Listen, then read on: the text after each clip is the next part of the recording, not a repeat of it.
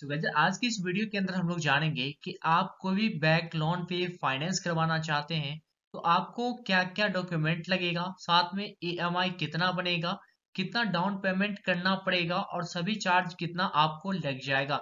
गैजर अगर 2022 में अगर कोई भी बैग आप लोन पे परचेज करना चाहते हैं तो मैं इस वीडियो के अंदर आपको एक कंप्लीट प्रोसेस बताने वाला हूँ जिससे आप कोई बैंक लोन पे परचेज कर पाओगे। तो सबसे पहले हम बात कर लेते हैं क्या क्या डॉक्यूमेंट लगेगा। तो इसके लिए आपको डॉक्यूमेंट रिक्वायर्ड डॉक्यूमेंट की बात करें तो फ़र्स्ट है आइडेंटिटी प्रूफ आइडेंटिटी प्रूफ में आप क्या क्या डाल सकते हो? फ़र्स्ट नंबर देखिए तो आधार कार्ड आप डाल सकते हो। इसके अलावे आप पैन कार्ड भी डाल सकते हो।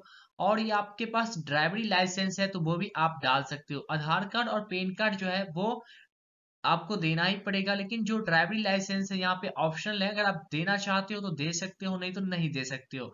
तो इसके अलावा आप देखिए तो सेकंड नंबर देखते हैं। सेकंड नंबर में है एड्रेस प्रूफ एड्रेस प्रूफ में आप क्या क्या दे सकते हो?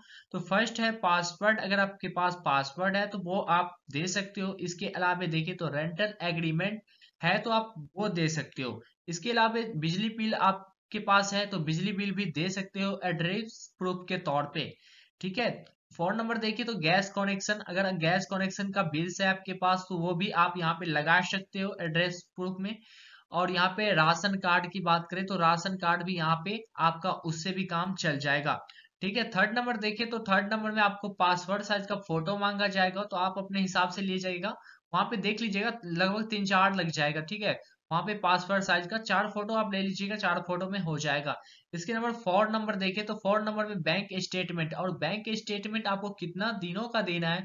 तो यहाँ पे अगर आपके पास थ्री मंथ का है तो लास्ट थ्री मंथ का दे सकते हैं और सिक्स मंथ का भी दे सकते हैं। तो यहाँ पे जो आपको अच्छा लगे वो आप कर सकते हो, ठीक है? यहाँ पे लास्ट थ्री मंथ की रिक्वायरमेंट होती है, लेकिन आप अगर अच्छा खासा या ट्रांजेक्शन करते हो तो सिक्स मंथ का भी आप दे सकते हो। अगर आपको लगता है कि मैंने लास्ट थ्री मंथ में ट्रांजेक्शन अच्छा नहीं किया है तो आप last seven sorry last six month का आप दे सकते हो, ठीक है?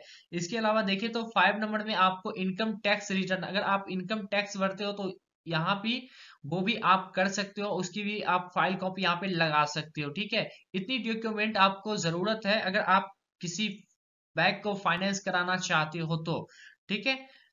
इसके अलावा आपको क्या करना है? सबसे पहले ये जानेंगे कि आपको डाउन पेमेंट कितना करना है। तो चलिए मोबाइल के आपके स्क्रीन पे ले चलते हैं। वहाँ पे दिखाते हैं कि आपको डाउन पेमेंट कितना करना होगा और ईएमआई कितनी बनेगी और कितना पैसा आपको एक्स्ट्रा लग जाएगा। तो इस वीडियो को चलिए मोबाइल के स्क्रीन पे आपको ले चलते हैं। तो गजर इसके बाद आपको ई एम आई कैलकुलेटर पे हम ले चलते हैं और वहाँ पे आपको दिखाते हैं कि कैसे कैसे डाउन पेमेंट होता है। डाउन पेमेंट इसके अलावा जो कितने टाइम के लिए आप ले सकते हो और एक्स्ट्रा चार्ज कैसे लगते हैं। और सारे चीज़ को कैलकुलेशन में यहाँ पे करके दिखाता हूँ। तो सबसे पहले आपको क्या करना है, अपने क्राउन ब्राउज़र को ओपन कर लेना है। अगर आपके पास क्रोम ब्राउज़र है तो सही है, ना है तो अपने गूगल को भी ओपन कर सकते हैं, ठीक है? तो यहाँ से मैं एक न्यू टैब लेता हूँ।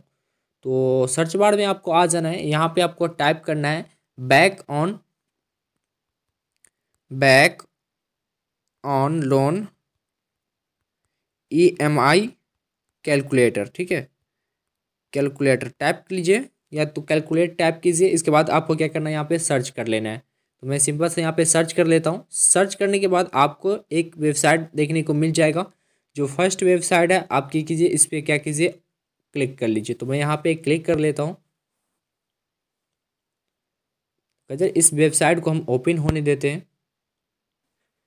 तो गजर, इसके बाद ये वेबसाइट जब ओपन हो जाएगी तो यहाँ पे इस तरीके का इंटरफेस आपको देखने को मिल जाएगा। यहाँ पे देखिए तो फ़र्स्ट ऑप्शन में है ब्रांड सेलेक्ट करना है। सेकेंड ऑप्शन में है मॉडल सेलेक्ट करनी है। और वेरिएंट यहाँ पे सिलेक्ट करनी है, ठीक है? इसके अलावा देखिए तो नीचे में आपको बहुत सारे ऑप्शन देखने को मिल जाएगा।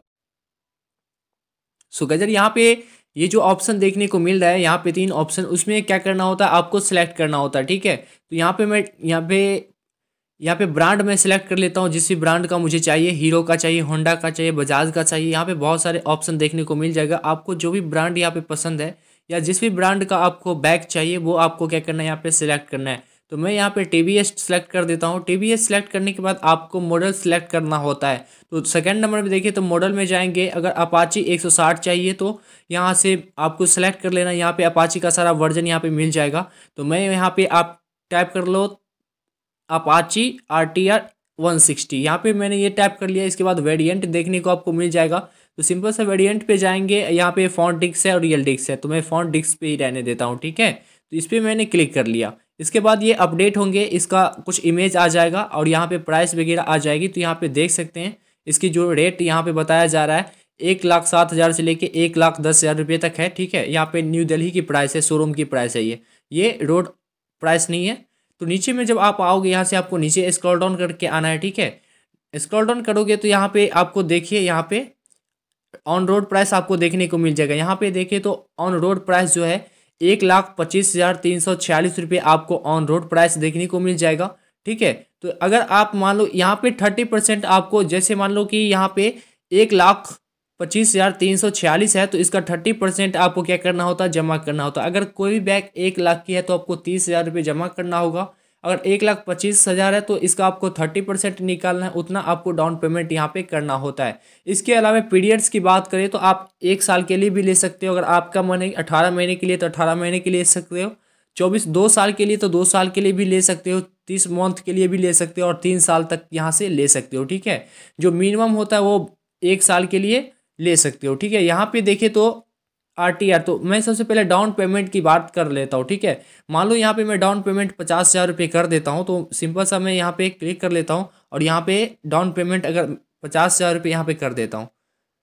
तो गैजर यहाँ पे मैंने डाउन पेमेंट जो है पचास हज़ार रुपये यहाँ पे कर दिया है। करने के बाद यहाँ पे आपको नीचे में आ जाना है। अगर आप, अगर एक साल के लिए लेते हो, एक साल के लिए अगर आप लेना चाहते हो ई एम आई बैग तो यहाँ पे देखिए इसकी जो रोड प्राइस थी एक लाख पच्चीस हज़ार तीन सौ छियालीस रुपये। आपका जो लोन अमाउंट बच जाएगा, पचास हज़ार रुपये डाउन पेमेंट आपने किया है तो लोन अमाउंट कितना बच गया आपका?